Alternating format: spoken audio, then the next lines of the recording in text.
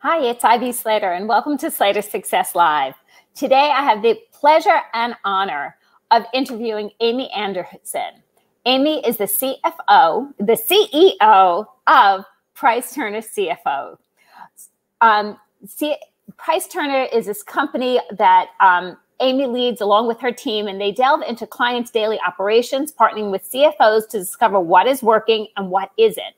Her team members always work this, with the same clients, building trust, forging relationships to provide consistency and an investment in their success. Um, she covers a diverse portfolio with three decades of expertise. She uses her financial knowledge to customize Fortune 100 accounting and operational principles to fit the needs of the small to mid-sized businesses. Amy, thank you for joining me today and come on in. Thank you so much, Ivy. It's a pleasure to be here and an honor to be with you. So um, let's, you know, let's delve in a little bit. Give us a little bit of how did Price Turner get started? What drove you to start a CFO company and a CFO company that's a virtual CFO company or off-premise CFO company? So after being in the corporate world for many years, when I left that, it was kind of figuring out what I had to do, and I went a number of different ways. I'm now in my 10th year as my in my business and I also have employees. Where previously I may have had the um, contractors working with me. My company, the, the business really has grown and developed over that time. It has grown so much, and in fact, it grew last year during the pandemic, while um, many others were not able to survive, and mine did primarily because I was helping people. So, so let's look at that for a second. Um, in the past year, in the past year, year and a half, right? The pan- pandemic comes on mid March. I know um, you're, you know, working with how many clients on average? Uh, now about now it's at uh, 100. It had okay, been 80 prior. Mm-hmm. Okay, so um, and everybody who wants to do the math, like Amy does, you can now do the percentages in growth in the last year plus. Um, in, in looking at this, right? So the pandemic comes on in March of 2020. I know there was a lot of scarce, a, a lot of talk about scarcity, concern about business, um, and then there was the word around the PPP. What were your actions, and how did you navigate this for your clients? Well, first of all, let me specify that I am a CPA. However, okay.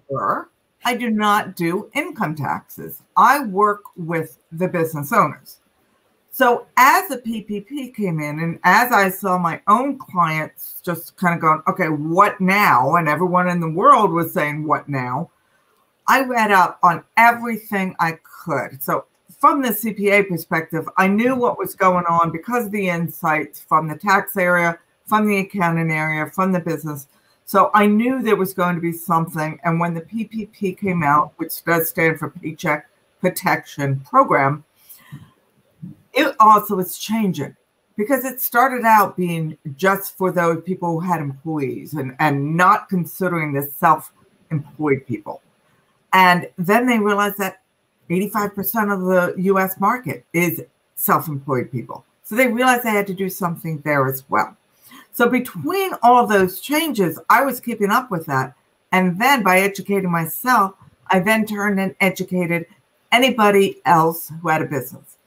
And so I could see your evening reading and my evening reading might have been very different during that time. Oh, yes. Yes. and believe me, I'm not sure how much sleep I had during that time either, because one night it was, uh, one day was 17 different Zoom calls because wow. everything had to be virtual, right?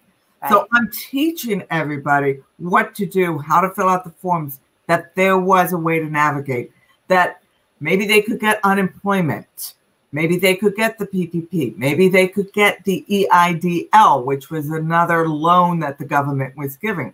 And being able to be that resource for them to say, yes, there is financial availability of directly from the federal government, directly from counties. Many of the counties decided to take money from the federal government or money that they had and give that to businesses as well to keep them all afloat.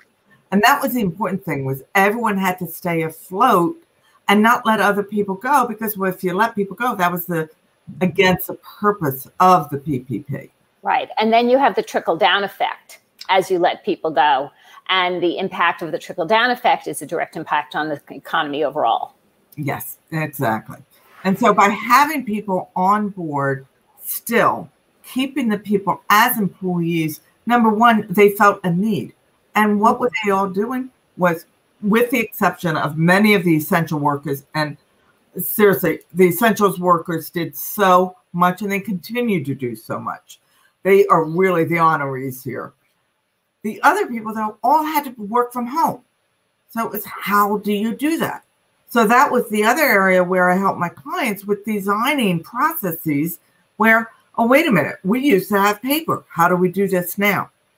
And well, I, am going to chime in, and I know Amy a long time, listeners, um, and feel free to, you know, give some feedback, ask any questions of Amy, myself, as we're talking about the impact of um, a CFO in a growing company, a, a strong company, and the financial piece as companies grow and scale, which we're going to be getting into in a moment. Um, but I, I, and I know Amy a long time. I will say, Amy is the tech person that I know. You know, if I have that tech question, there's a select few I could pick up the phone, and Amy's one of them. So when she's talking about systems and processes and and how to be virtual and all of that. Uh, it's one of the resources I use because I'm not the tech wizard. Absolutely. And there are times, and we always say, you know, do what you do best and outsource the rest. So, absolutely. Do from, what you do best and outsource the rest. I love that. So, you know, as the CFO role, which is what we were, again, I am a tech person. I also I've had systems forever.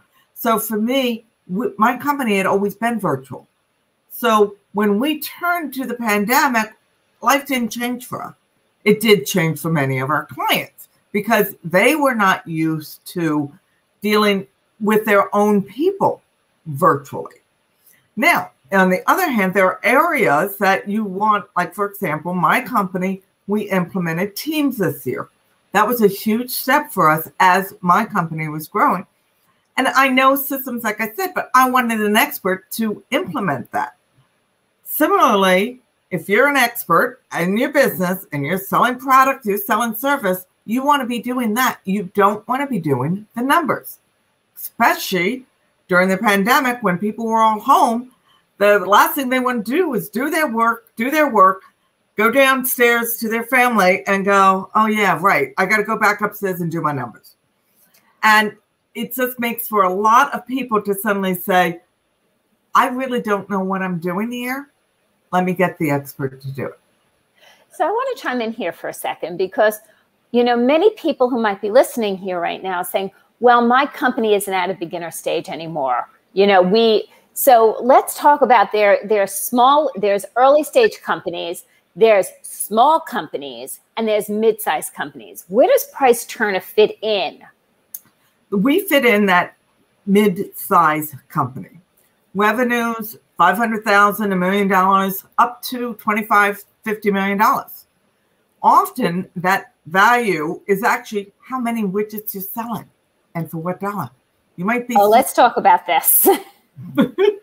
how many widgets you're selling and for what dollar?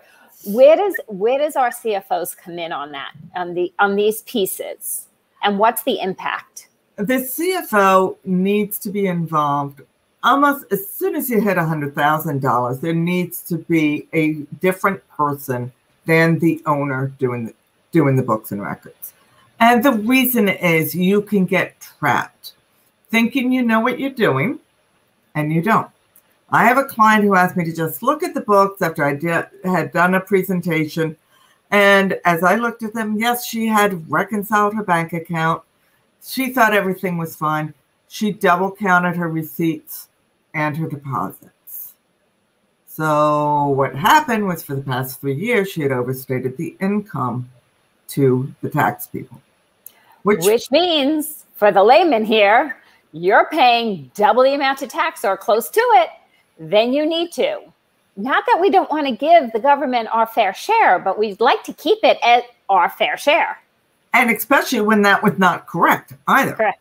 Now, the wonderful thing was I was able to step in, correct her financials, and it was in time for her tax preparer. Remember, I don't do income taxes, but I know enough about them that the refund that came in from the IRS more than paid for both of our payments.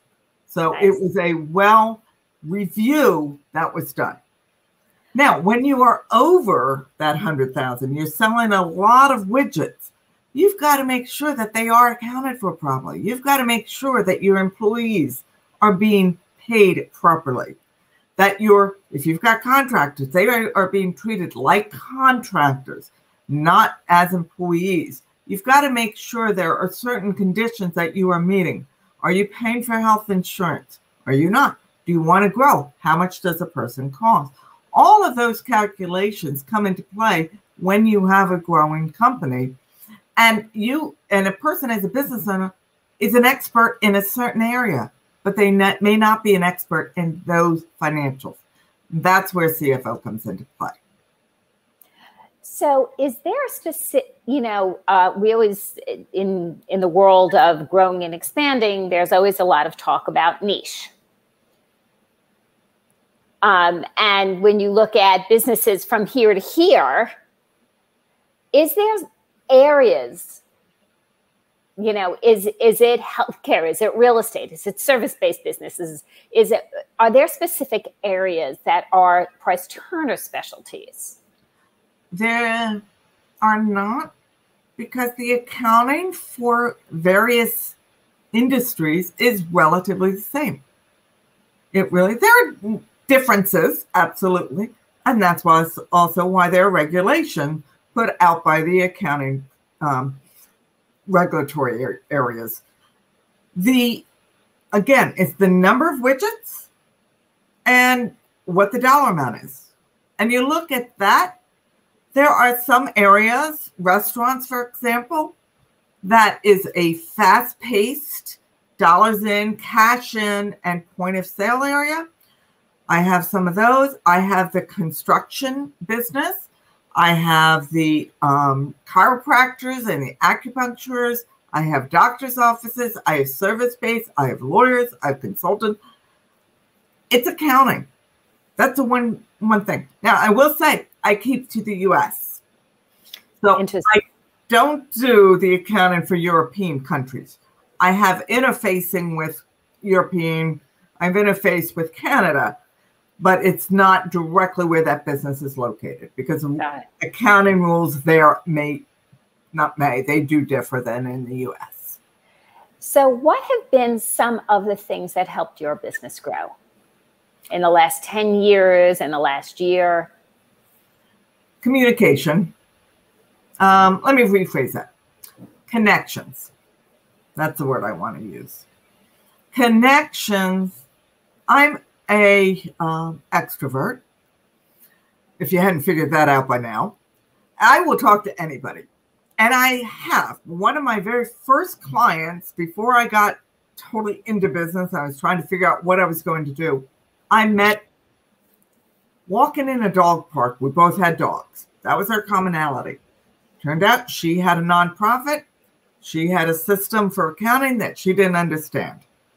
I happened to mention that I was looking for a job or starting my company, didn't know what I was doing. And she's like, Do you know QuickBooks? And I'm like, Oh, yeah.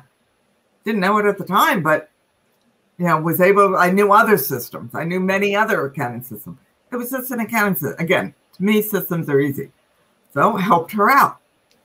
That led to her referring me to somebody else, to somebody else. The connections that one makes may lead to directly to a client. It may also just form a relationship that they will become your client. They will refer you to a client. I refer them. Those connections are what really makes a business grow. And nowadays, with it again, post pandemic or during the pandemic, all those virtual networking that I've done have continued dramatically. Mm-hmm. And uh, so I was just awarded, in fact, the Growing Business of the Year by the Main Line Chamber of Commerce. For- Woohoo! Nice job. Congratulations. Thank you. And again, why? Because it's connections. I feel the connections that you make, if you're in a couple of specific networking groups, take the time and be active in those groups don't try to spread yourself too thin and go here, go there, go there. Give a business card, or in this case, a virtual business card. Make sure that you get to know the people and don't do it at the event. Take the time to do it after the event and get to know them one on one.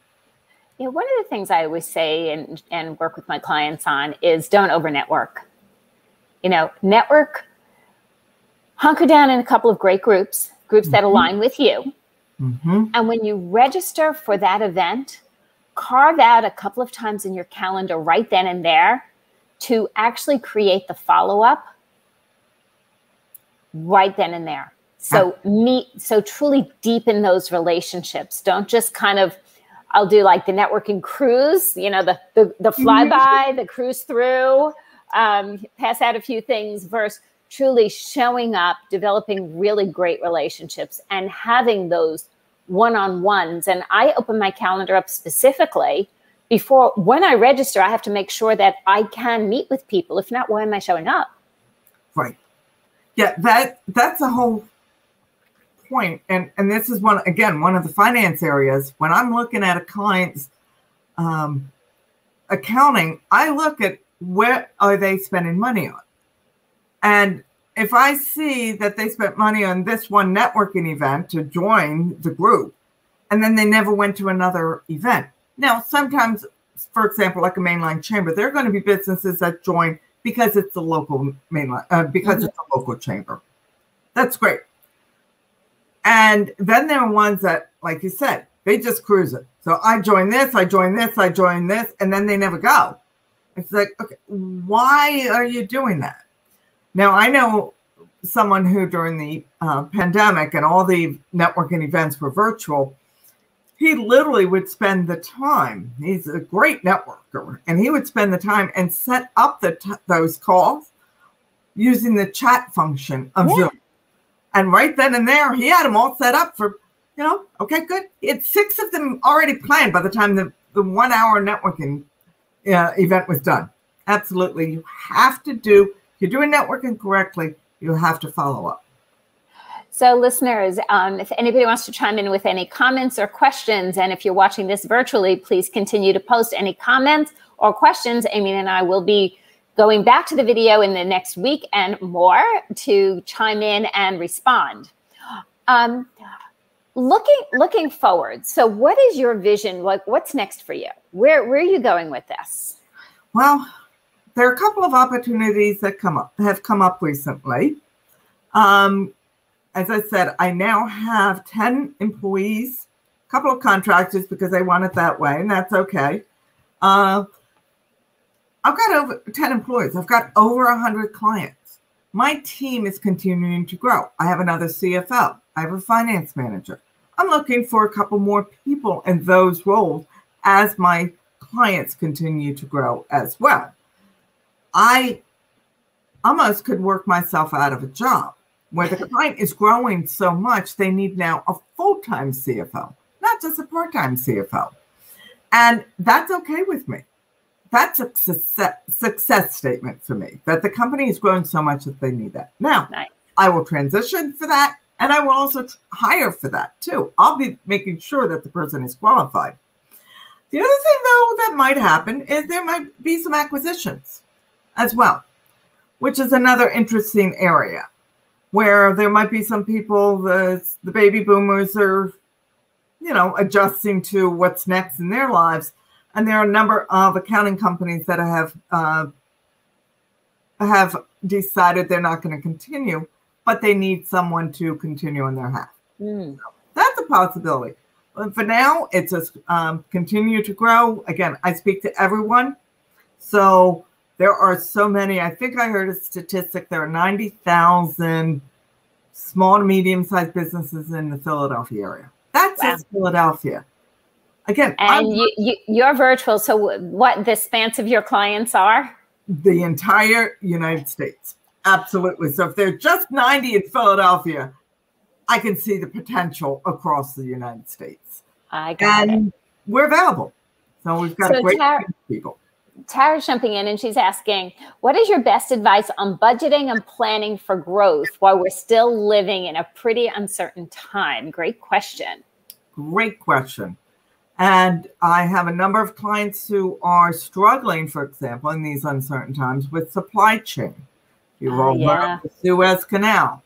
Uh, recently, this client was affected by the forest fires in Canada, no less, because it affected the trains going across Canada. Yeah. And the, every, there's going to be something. There's always going to be something to prepare for from a budgeting and forecasting perspective. If you have recurring revenue, consider that and consider what you've got see if there if that's not going to continue or if you are working on the pipeline all the time where is your pipeline? Budget and forecast for what you know and then give yourself some growth as well. Because I, I love what you're saying because i love how you're also bringing in the pipeline. Because I think very often people don't look at that in the the you look at it as you must know your pipeline. On the other hand, when you're looking at budgeting and planning forward, I was actually just talking to somebody yesterday and he was saying, you know, my pipeline is similar to a straw. It's pretty you go it's it's powerful, but it's narrow and thin. And I was like, how does that affect your business? Mm-hmm. Is that what you want? Do you want it to change? What are you doing about it? The typical IP questions. Um, and the pipeline and the impact is, is a good portion, especially when you're planning. Because if in your budgeting, if you pipe, want your pipeline to grow, something has to be invested in, whether it's time or money or both.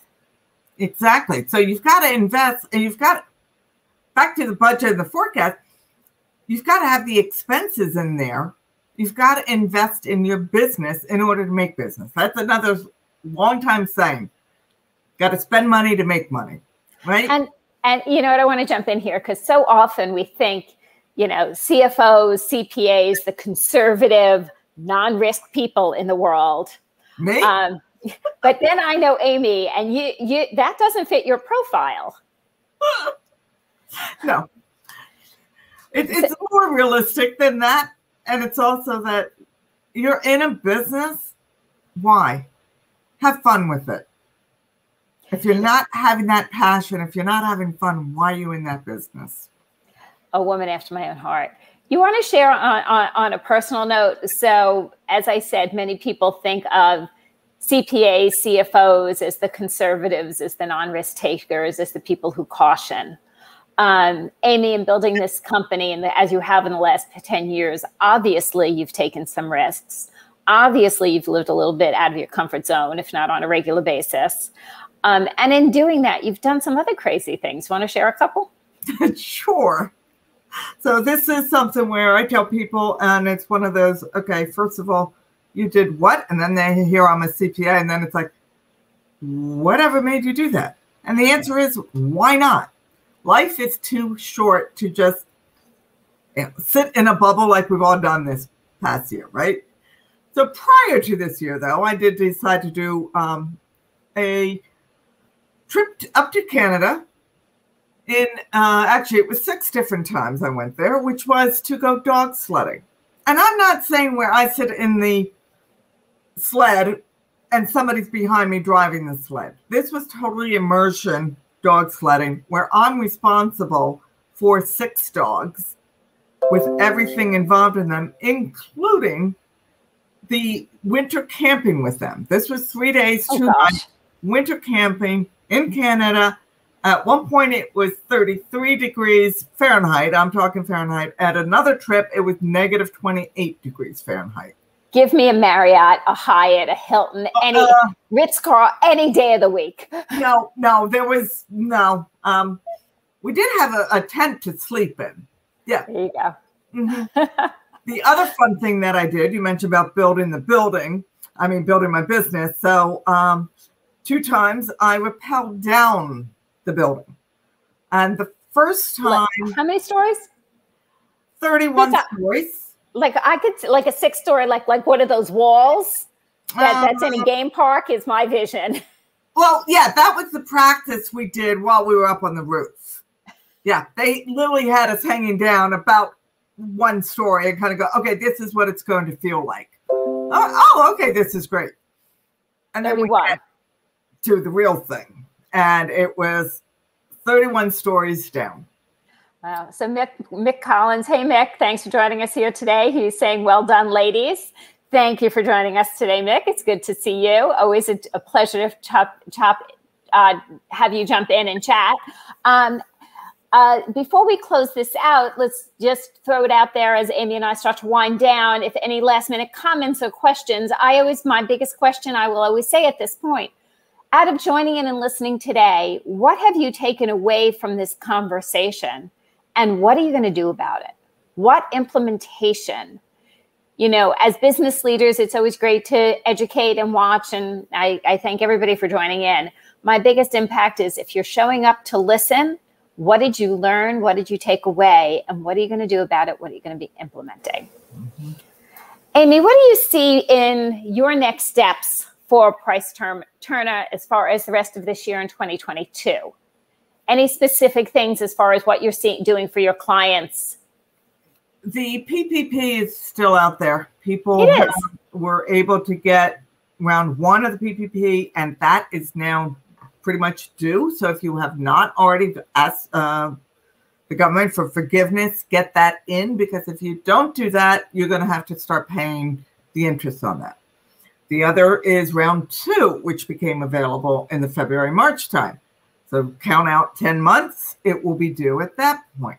So realize that there is time to utilize these funds but you want to apply for forgiveness because otherwise it turns into a loan. And although it's a low interest loan, you don't need to do that. The other thing is, and so again, I'm going to actually jump in here for a second. So, listeners, when Amy said 10 months, that means you mark your calendar at eight months and you reach out to your CFOs, your CPAs, your support teams, and or Price Turner to make sure that you're getting the guidance on how to apply for forgiveness properly, easily, and effectively. Mark your calendars. It's my calendaring tip for the day. And I'm going to just specific, specify to what date that is. And that is the date 24 weeks after the date you receive the funds. So if you do the 24 weeks plus the 10 months, and now, as Ivy said, to make sure you prepare for it, 24 weeks after the date you received it and minus and plus eight months only. So that's a big thing. Again, the EIDL is another thing which has happened where people, businesses were able to get money. There's still money available.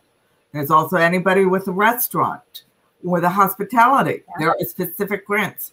A lot of the small um, um, economic development centers for the counties also have grants available. If you need money, go out there. There are a lot of businesses that need money still look into that, do the research, and see if you qualify. Lovely. Mick chimed back in. He said uh, his takeaway of today is re- reinforce the idea of investing in my in my business, in myself. Absolutely. I condone both. Amy, how can our listeners learn more about you? The company name is Price Turner CFOs, so look that up on the website. There's also a link to schedule a time to be able to just talk one on one, virtually, of course. And if you want to see the videos of me dog sledding or going down those buildings, those are also available under the About Amy. So, yeah. Uh, pretty, you know, what fascinating fascinates me, and I think one of the reasons that um, it's been great to watch you grow and succeed is you break the rule you break the rules of traditional knowledge. You don't stay in a box and that's one of the things i admire about the company you run. Um, meaning cfos cfos and cpas aren't risk takers. And then amy you know spoke to her a bunch of years ago she goes oh yeah i can't talk to you next week i'm off dog sledding in canada said, Do you know it's below zero in Canada? And she's like, Yeah, I'm packing layers. I'm like, That wouldn't be my answer. My answer would be to go south. Uh, so thank you for joining me here today. Listeners, you can continue to watch the video um, on Slater Success uh, under Ivy Slater and Slater Success on LinkedIn. Please continue to feel free and chime in on your takeaways and what are you going to implement about this. Continue to join us. We will be back probably in August with more Slater Success Live. Enjoy the summer, enjoy the fun, as in Amy and I both agree. Build a business that brings you joy, fulfillment, and it will grow as you take action. Absolutely. Thank you so much, Ivy. Listeners, stay tuned as more more great episodes of Slater Success Live comes with. Uh, we have a LinkedIn Live trainer coming on in a few weeks. Beth Granger. Beth and I have done a couple of LinkedIn Lives on various topics, and we'll continue to pop in together. It always makes great impact. Stay tuned. Leave your takeaways. I'll see you next time.